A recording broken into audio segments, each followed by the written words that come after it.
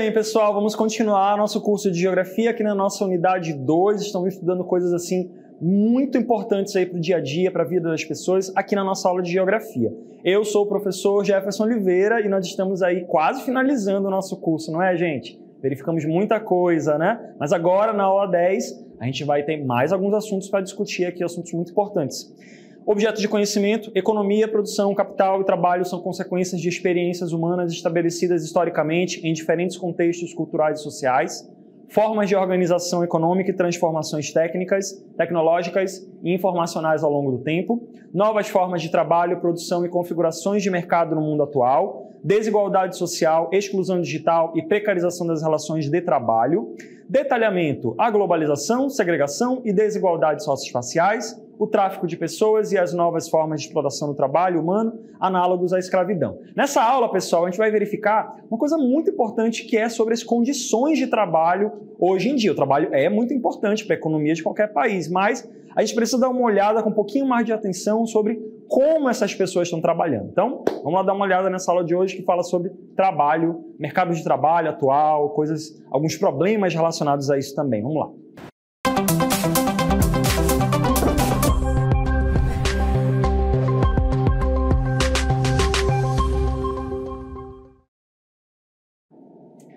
Pessoal, é, os adultos, né, as pessoas aí que trabalham hoje em dia, têm uma rotina muito grande de trabalho, seja professores, advogados, pessoas que trabalham com trabalho braçal, enfim. É, tem toda uma rotina né, ao longo do tempo. Com o passar do tempo da história da humanidade, as formas de trabalho também foram mudando bastante, né? Até por conta de que trabalhos que existiam há 500 anos atrás, né, 200 anos atrás, hoje em dia são feitos de maneira tecnológica, de maneira virtual. Então, nessa aula, a gente vai dar uma olhadinha sobre essa evolução e sobre alguns problemas que são causados por isso. Tá bom, gente? As formas de trabalho elas estão mudando, né?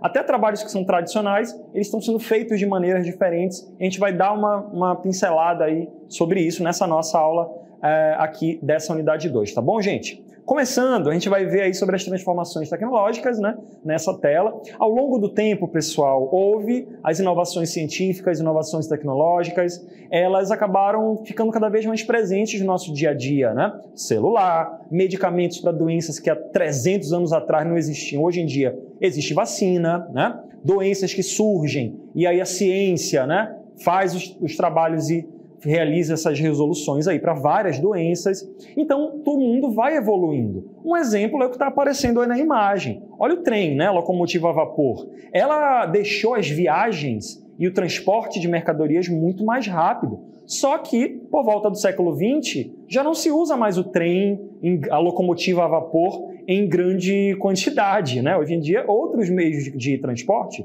outros modais de transporte superaram tudo isso. E além das inovações tecnológicas, pessoal, a forma de trabalhar, ela também foi evoluindo com o passar do tempo. Hoje em dia a gente fala que as pessoas são assalariadas, trabalham, mas antes a própria noção de trabalho era muito diferente. Como a gente vai ver aí nessa próxima tela, né? Existia na próxima tela, existia a chamada escravidão, né? infelizmente em algumas situações ainda existem, que é quando um grupo é meio que o dono do outro, né? subjuga o outro ali a realizar o trabalho. Era, era uma forma é, muito comum há séculos atrás. Né? Também existia a chamada servidão, quando existiam os servos, né? os, os vassalos ali é, na, nas ah, nos feudos, né? onde você tinha um grupo de pessoas que tinha que servir um outro grupo de pessoas ali né? em troca da sua sobrevivência, né? proteção, não necessariamente uma relação de escravidão, né? mas sim de servidão. E hoje em dia, como a gente vai ver na próxima tela, pessoal, isso tudo evoluiu bastante. Né? Para uma lógica de trabalho assalariado. Né? Dentro da lógica capitalista, a gente observa que existe aí essa troca da força de trabalho por dinheiro. Basicamente é assim que funciona, né? A gente tem então essa mulher aí que está servindo de exemplo, está com uma carteira de trabalho na mão, significa que ela está trocando a sua força de trabalho ali, segunda a sexta, ou de segunda a sábado, enfim, e ao final do, de um mês ela recebe um valor. Isso é um salário, não é? O trabalho, pessoal, ele pode ser formal, como é o caso aí da imagem, mas ele também pode ser informal, quando a pessoa está fazendo alguma atividade, mas ela não tem as garantias legais, no caso aqui do Brasil, Mas também existe o trabalho autônomo, né, que é quando a pessoa ela trabalha por conta própria, ela pode pagar os seus direitos ali, ela é contratada para realizar determinado serviço, quando o serviço acaba, acabou o contrato. Né? Então existem as formas de lidar aí ao longo do tempo. Então o trabalho em si, pessoal, ele é reflexo também da evolução da, da, da própria forma de se produzir as coisas. O trabalho assalariado hoje em dia ele continua existindo, mas ao longo da história, pessoal, a gente observa que é, na medida que as evoluções tecnológicas foram acontecendo, a forma de se trabalhar também foi mudando. Algumas espécies de trabalho desapareceram, outras foram surgindo com a história. Vamos dar uma pincelada bem rápida sobre as revoluções industriais aqui, né? só para a gente pegar lá das aulas de história, para a gente lembrar um pouquinho. A gente estava com aquele menu aqui ainda agora, né, que mostrava aqueles três ícones, cada um representando as, as revoluções industriais, né? E lá no primeiro ícone a gente tem ali a primeira revolução industrial, que é o começo de tudo, quando surge a troca pelas máquinas, né? Surge aí a mecanização. Antes era aquelas áreas onde as pessoas faziam, né, com o uso de pequenas ferramentas ou na mão mesmo. E aí vem a máquina a vapor, vem o uso da energia é, movida ali, né, do, a partir do carvão, e isso acabou fazendo com que o trabalho mudasse, né, a forma de manusear as máquinas.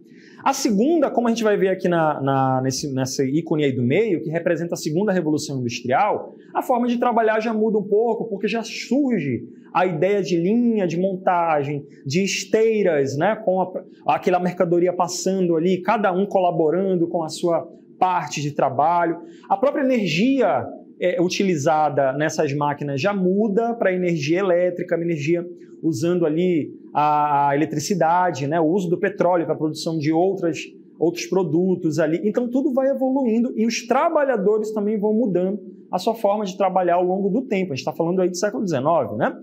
Na terceira revolução industrial, pessoal, que já surge aí, né, Segunda Guerra Mundial, né, aquele período ali da história, a, a indústria ela começa a ficar cada vez mais o quê? Automatizada, utilizando computadores, utilizando objetos eletrônicos, tecnologias de informação, robótica começa a surgir nessas áreas.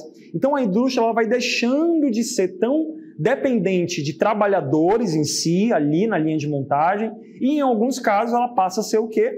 Automatizada isso fatalmente causa uma mudança né, na rotina de trabalho de uma fábrica como essa que se moderniza. Né? Olha essa imagem que vai aparecer na próxima tela aí. É uma fábrica de carros, onde tem trabalhadores ali acompanhando o processo, mas existe uma série de é, robôs automatizados que vai montando esse material, esses materiais aí nesse carro automaticamente. Ao longo da história da produção industrial, pessoal, surgiu ali um método de trabalho, um método de organização das fábricas chamado toyotismo. Vocês já estudaram sobre isso? Quando nós vimos sobre o taylorismo, sobre o fordismo com as linhas de montagem, o toyotismo é uma forma de organização que gerou uma mudança ainda maior né, sobre a, a produção industrial. Por quê? Porque as fábricas elas não passaram mais a fabricar um milhão de mercadorias do mesmo tipo, e sim e sim né, produzindo ali de maneira flexível, né, o método just in time, que é quando você tem um pedido para fazer 100 automóveis, então aquela fábrica só vai fazer 100 automóveis, Ela vai fazer só o que for pedido. E aí, pessoal, o método just in time tem essa característica, justamente para reduzir os estoques, usar as matérias-primas de maneira ali, né, concentrada para evitar desperdício, porque uma fábrica que evita desperdício ela evita né, gastos de dinheiro. E a gente sabe que no mundo capitalista, né, a gente tem ali o lucro cada vez mais importante. Então, pessoal, essa forma de organização das fábricas baseadas nessa lógica do, do, toyo, do toyotismo, né, lá da década de 70, mais ou menos, até recentemente a gente ainda vê essa lógica funcionando, a gente tem essas características aí, como a gente vai ver na próxima tela. Uma delas que é muito comum hoje em dia, pessoal, nas empresas em geral, é a terceirização de trabalhos, né? Quando as pessoas são contratadas, ah, você tem uma empresa, essa empresa contrata uma outra empresa para fazer um serviço, né? E aquela empresa não tem domínio sobre aquela outra empresa, ela fica com né, toda uma, um núcleo diferenciado para realizar aquele serviço ali, né? Ela tem uma certa, ela tem uma, uma certa um problema nesse sentido, porque ela não, não se conecta com aquela empresa principal, né? Aquela empresa principal contrata uma segunda empresa para realizar um serviço, né? E aí ela, essa empresa, ela faz, presta serviços ali para agregar na produção principal. Né? Então, terceirização, pessoal, ela é muito comum em várias empresas ao longo é, é, das empresas por aí. Né? É, você tem uma fábrica de alimentos, por exemplo, mas tem uma empresa específica que é terceirizada para realizar, por exemplo, a manutenção no ar-condicionado, na, na, questão ali da climatização. Tem uma outra empresa que é contratada para fazer a limpeza, né? Tem uma outra empresa que faz, enfim, tem uma série de exemplos que a gente pode ministrar aqui dá nesse caso, né? Existem também nesse, nessa nova forma de trabalho as chamadas células de produção, né? As células de produção, elas são essas, essas características aí de estar encarregadas, elas são contratadas para produzir determinada parte ali e realizar o controle de qualidade ali dos produtos. Na próxima tela, pessoal, a gente vai ver ali que a gente tem esse, portanto, tudo isso é para a gente poder entender que o método de trabalho cada vez mais modernizado é a busca é sempre aumentar a produtividade, ou seja, produzir mais coisas em menos tempo e com o mínimo possível de trabalho humano. Quanto mais pessoas foram contra forem contratadas, é mais dinheiro que aquela empresa vai ter que pagar, né?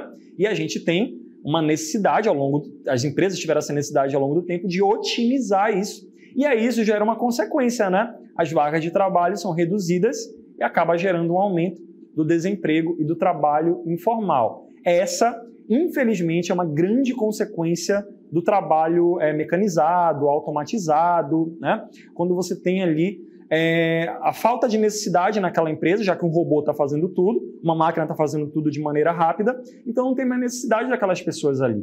No campo isso aconteceu também, a gente já falou sobre isso, né?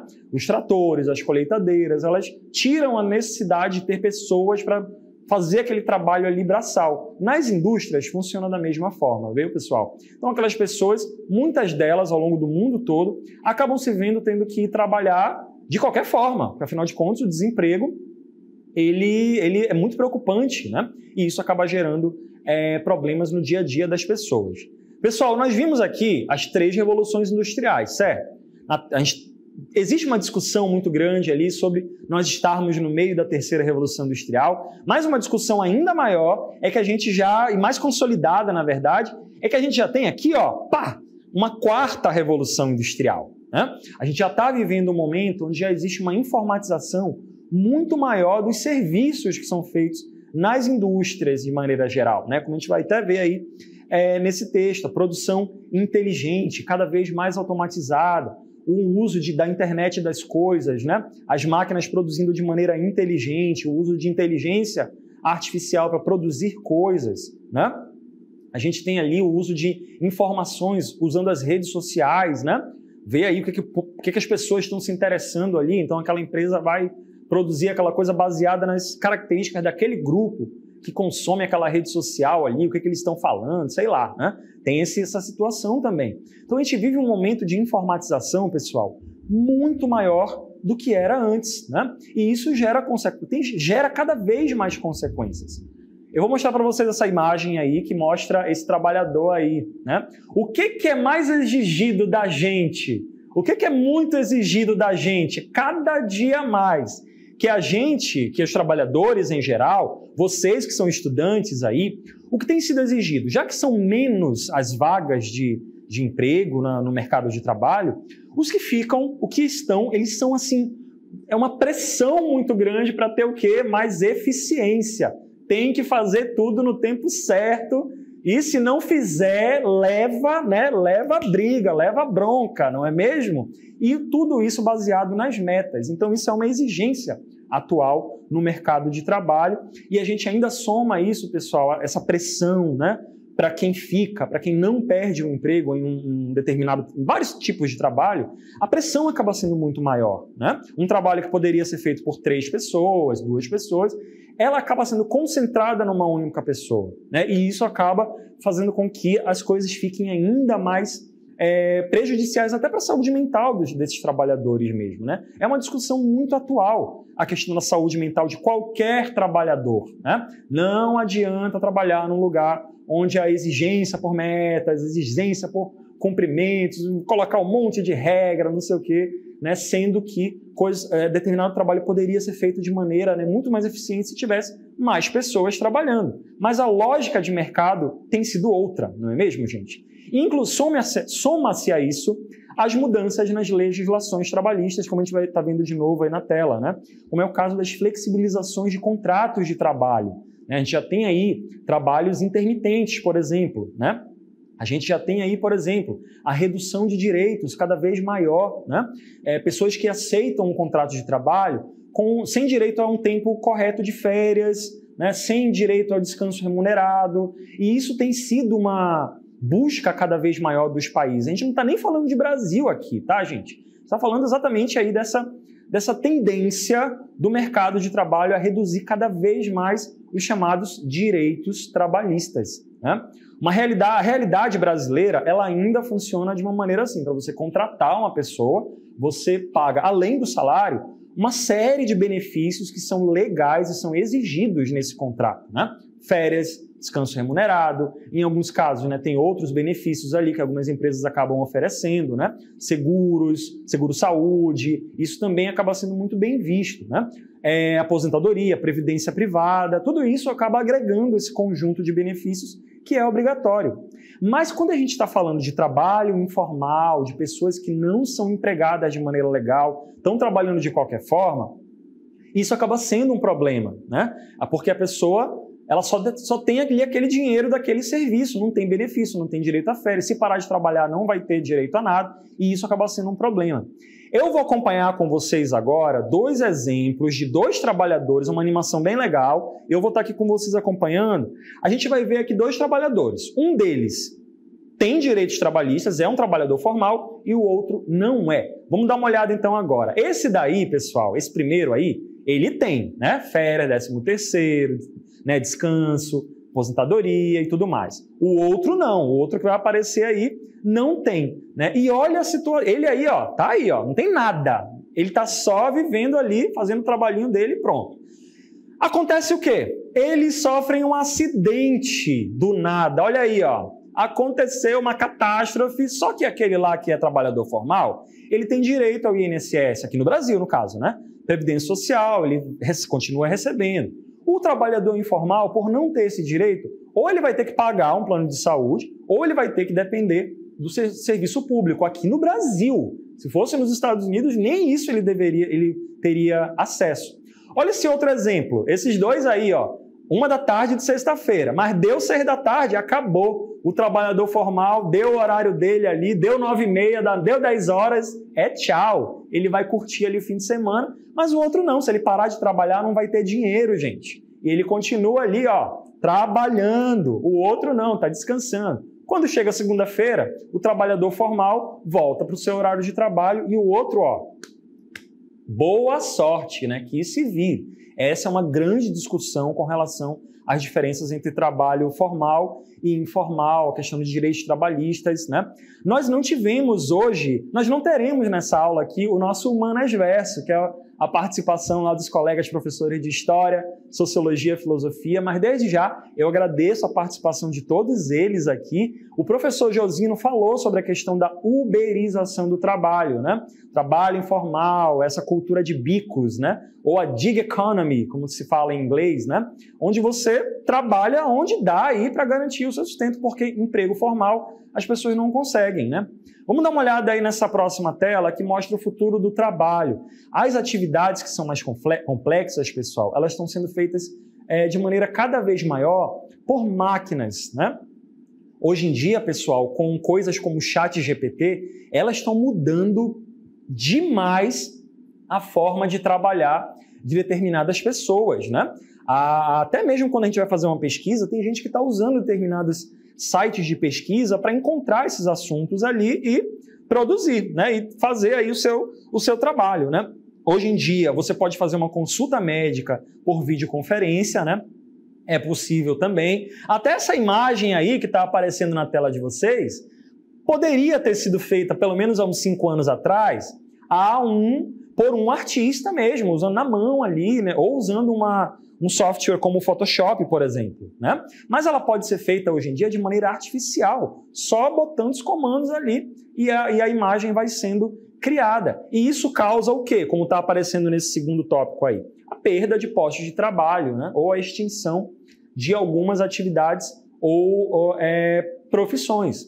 E aí, gente, eu quero fazer só uma reflexão aqui, porque há 100 anos atrás, a lógica do trabalho era bastante diferenciada, né? As pessoas trabalhavam muito mais horas por dia. Com o passar do tempo, né, com a, a questão dos sindicatos, os movimentos de trabalhadores, né, a própria lógica desse embate né, entre a produção é, dos empresários e a lógica dos trabalhadores, esses embates têm gerado ao longo da história muitos benefícios para as pessoas que trabalham de maneira assalariada. Né? E isso acabou evoluindo com o passar do tempo. A gente tem, tem alguns países onde essa batalha ela não é tão vencida, tanto é que é, é, os trabalhadores têm menos direitos. Mas existem outros países, como é o caso do Brasil, onde os direitos trabalhistas eles são muito importantes e eles são, né, eles deveriam ser cada vez mais, cada vez maiores, né? Porque a gente está vendo aí uma quantidade de trabalhadores é, é, que estão necessitando aí desses empregos. E por outro lado, a gente está vendo uma, uma, um movimento muito grande, principalmente né, de uma ala política um pouco mais conservadora, que não vê os direitos trabalhistas como FES, 13 terceiro. Essa galera não vê isso com bons olhos, acha que esses trabalhadores estão tendo benefícios demais e o ideal é que o trabalhador trabalhe mesmo o quanto ele puder trabalhar, quanto ele tiver força, ele trabalha e ganha o dinheiro dele ali de acordo com o seu trabalho. Né? Então vocês observem que são duas lógicas diferentes. A gente tem uma lógica, essa que eu falei, que para esse grupo de pessoas, principalmente essa classe política, né, enfim, é, classe social também, existe um posicionamento de que o trabalho ele deve ser de acordo com a sua produtividade. Então não importa se é sábado, domingo, feriado, né? Quem quiser continuar na minha empresa vai ter que trabalhar mais, vai ter que vestir a camisa, vai ter que não sei o quê, vai ter que fazer o que a gente mandar e pronto. Existe uma outra vertente que valoriza né, a questão da, dos benefícios dos trabalhadores, dos direitos dos trabalhadores, horário de trabalho correto, né, condições de trabalho corretos, sem perigos à saúde, saúde física, sem perigos à saúde mental dos trabalhadores também, né? todos os benefícios que a gente mencionou de férias, de não falar com funcionários durante as férias, né? de não falar com os funcionários durante os fins de semana, a não ser né, em casos de, de uma outra regra trabalhista que existe, né? a questão das horas extras, né? a questão do banco de horas. Né?